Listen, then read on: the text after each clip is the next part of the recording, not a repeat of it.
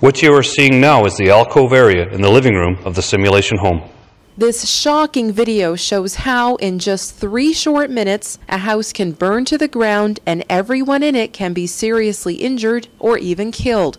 Samantha Hoffman with Toronto Fire Services says 13 people have died in house fires so far this year. There are three things that you can do to be safe from fire. We, our motto is prevention, detection, and escape.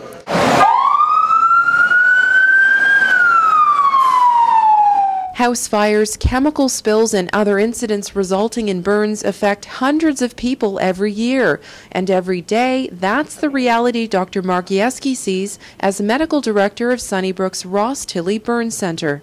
Fortunately, Dr. Jeschke says survival rates have improved dramatically in recent years, thanks to new surgical and wound care approaches, many developed here at Sunnybrook. And now his cutting edge research could soon help countless patients survive, recover, and thrive on a whole new level.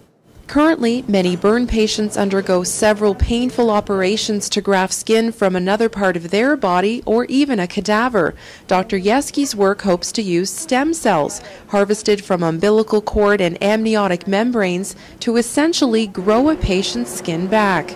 The vision would be to that patients do not need to have their skin transplanted, to have it actually stored in a shelf patient comes in, you take off the burn wound, you put this on immediately, and it's there immediately, and it's grown in. He could leave the hospital in no time. If this would work, that would, uh, I think that would dramatically change again burn care.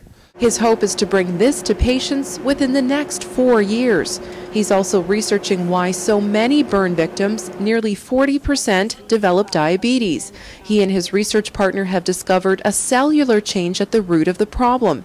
The goal now is to find a way to reverse this damage. In this difficult line of work, Dr. Jeschke says the rewards are immense. To see the patients walk out, be happy, have a life, and oh, it makes you feel good. With Sunnyview, I'm Monica Mattis.